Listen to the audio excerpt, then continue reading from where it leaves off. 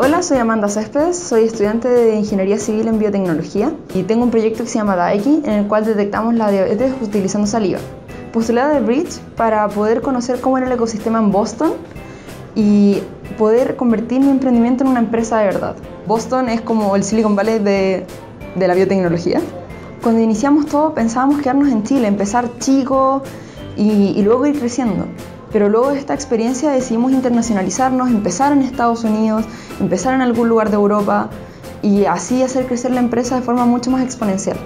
Hubieron dos cosas que realmente nos sirvieron.